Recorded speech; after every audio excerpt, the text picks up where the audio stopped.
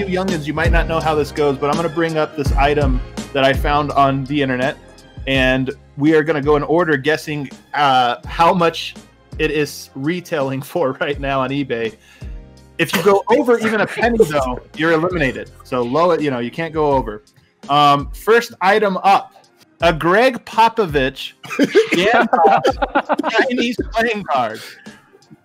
This is an incredible. Look at this. This is a real thing. Apparently, it's a, it, it was a, like a, in China or something. So Um, is it is it signed by him? it is autographed by Gregg Popovich. No, it's autographed by Gandalf, Eric. It was a joke, Harrison. Um, all right, Eric, you're you have to make the first uh, the first guess. Uh, this looks like a this looks like a eight ninety nine. Eight ninety nine is our first bid. Next up, who's I'm just trying to go in order here. Uh, Christian. I don't know. I, I feel like people would, would want this. It's freaking sweet. Uh, I don't know. I'll say I'll say forty nine ninety nine.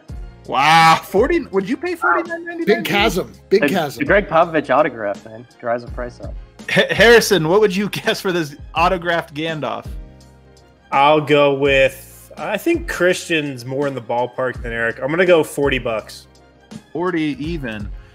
All right, Jill Ducey. I'm gonna go sixty bucks.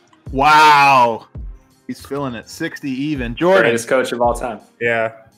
Twenty-four dollars. 24 even. Wow. The, this could ac- be like a one of one thing. I don't know. the actual going price for this item on eBay